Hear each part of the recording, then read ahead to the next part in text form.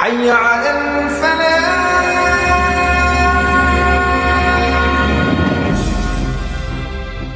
Assalamualaikum warahmatullahi wabarakatuh, teman-teman. Hari ini, pagi ini, saya akan eh, ngobrol soal eh, selama sebulan ini. Ya, sebulan dua bulan ini ada beberapa peristiwa yang cukup eh, menjadi highlight daripada umat Islam di Indonesia. Nomor satunya adalah eh, marahnya umat Islam kepada Presiden Perancis karena telah memasang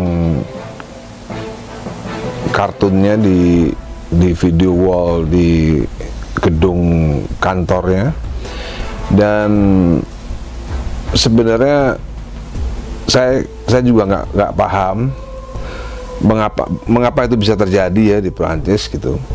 Padahal yang kita tahu presiden presiden Mercon ini yang kita tahu kan dulunya waktu dia kampanye eh, di dalam kampanye kampanye dia itu sangat sangat toleransi sebenarnya dibandingkan dengan lawannya yang yang dulunya. Tapi ternyata begitu dia jadi presiden dia malah eh, membenci Islam ya ya. Sekali lagi dia membenci Islam bukan membenci Islam fobia gitu. Eh bukan dia bukan bukan membenci Islam radikal tapi dia membenci Islam secara keseluruhan gitu.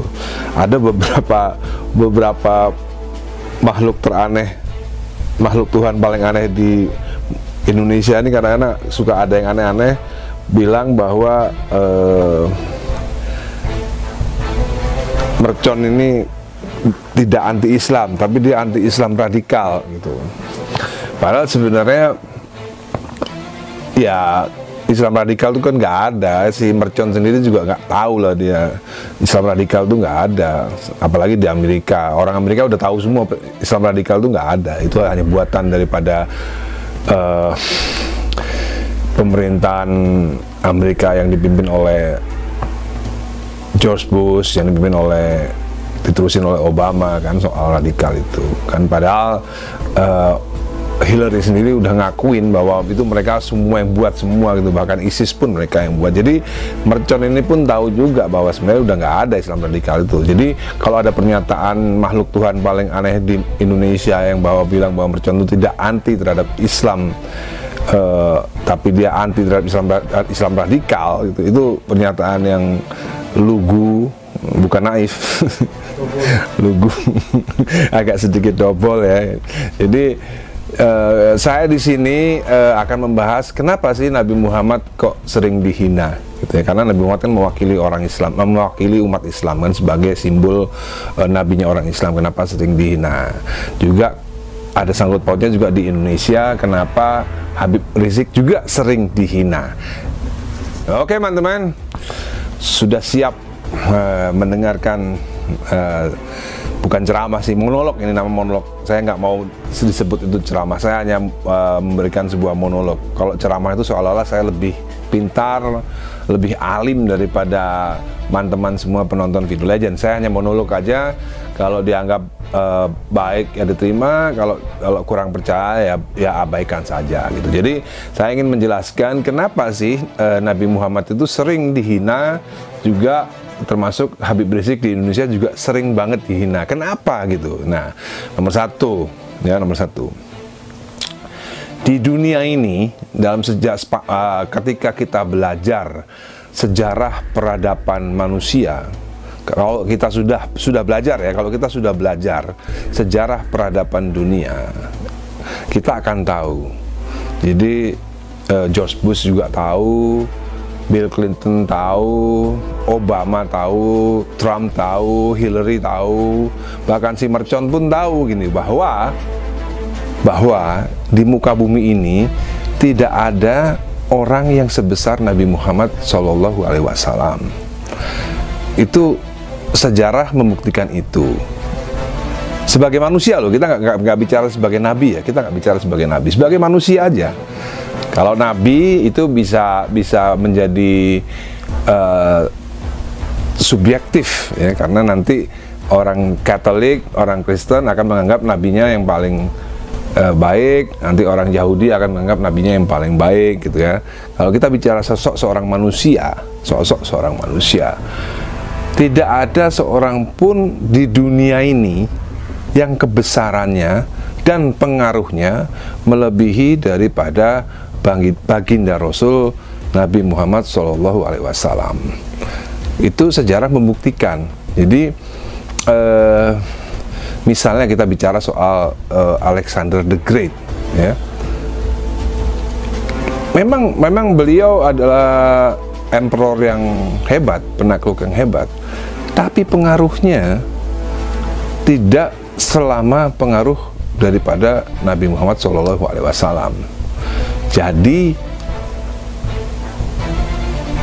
orang-orang ini, orang-orang bule ini, orang-orang Amerika termasuk mercon gitu ya, mereka tuh bingung karena mereka tidak punya sosok yang bisa mengalahkan kehebatan atau the greatness ya, the greatness daripada Nabi Muhammad Wasallam sebagai manusia, sebagai manusia.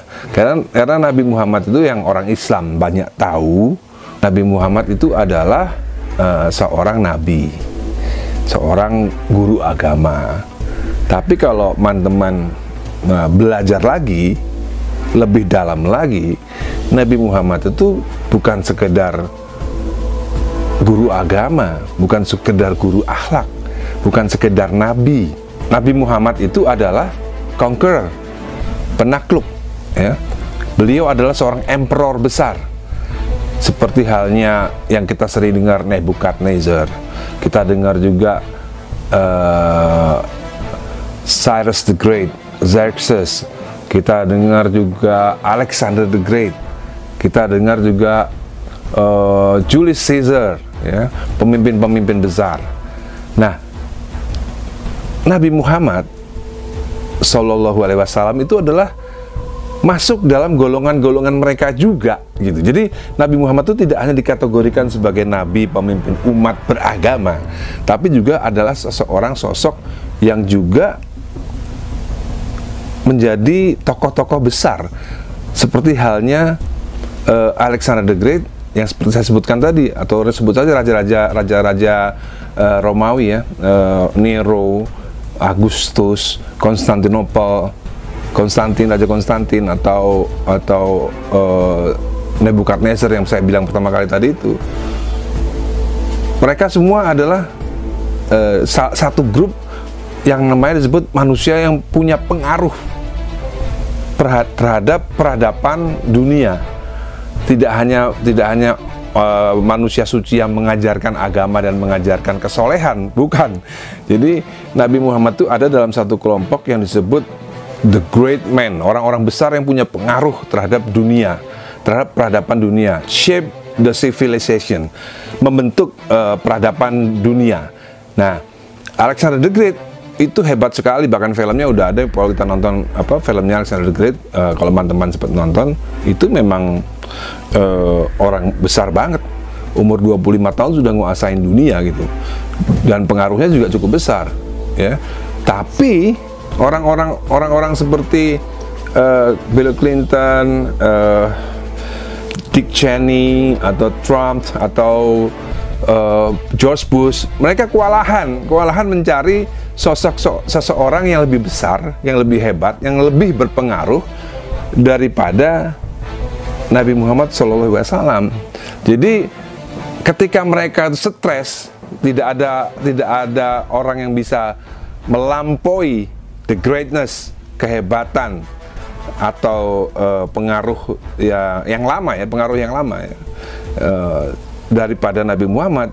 Ya akhirnya mereka itu akhirnya menghina gitu, akhirnya menghina Begitupun juga eh, Habib Rizik di Indonesia.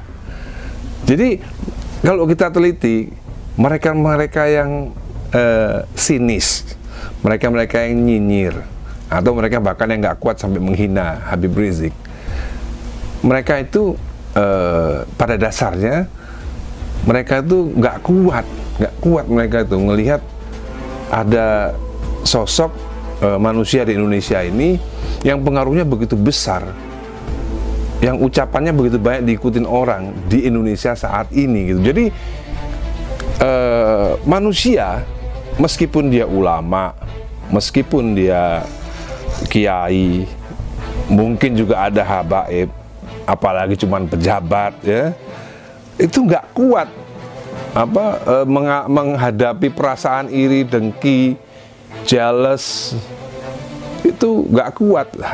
Dalam bahasa agama itu ada namanya hasad. Itu dalam bahasa Arab saya nggak tahu dalam bahasa Indonesia itu uh, padanan kata yang cocok apa ya hasad. Ada ada iri dengki di dalam hati sehingga sehingga mereka uh, karena mereka stres sudah nggak mampu lagi uh,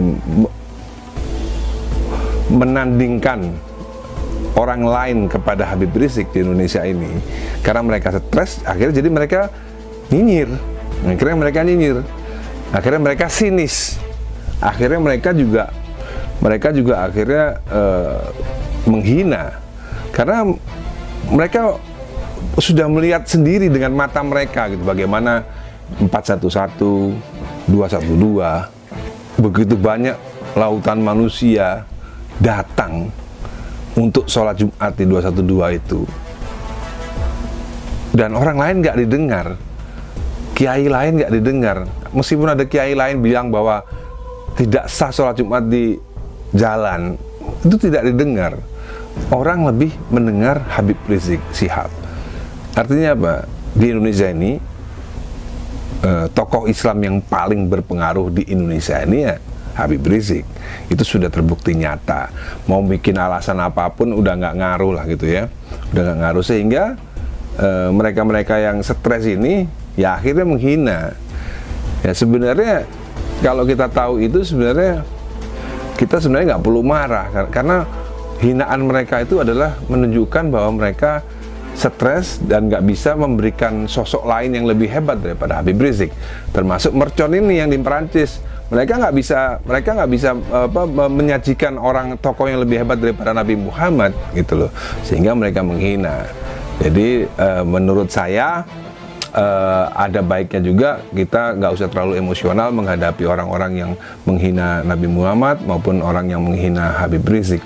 Karena uh, pada hakikatnya mereka tuh stres, mereka tidak punya tokoh lain yang lebih hebat daripada Nabi Muhammad ataupun Habib Rizik. Sekian dulu monolog saya, ya sekali lagi ini monolog ya, bukan ceramah juga bukan tausiah. Wassalamualaikum warahmatullahi wabarakatuh.